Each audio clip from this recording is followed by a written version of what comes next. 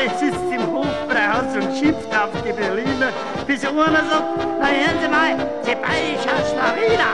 Da meint der Karre, jetzt ist gut, jetzt zahlst du runden Bier, dann sag ich in meinem Leben nie mehr Saupreis zu dir.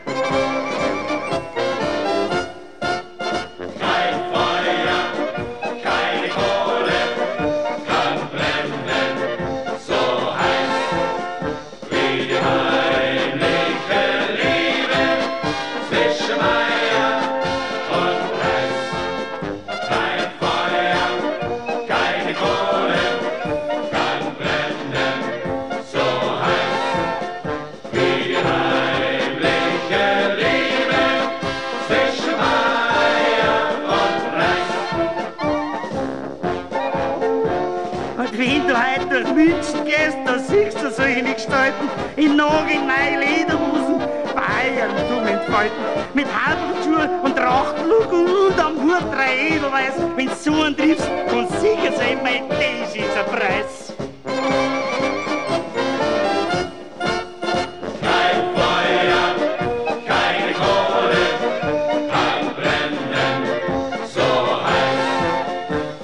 Hallelujah.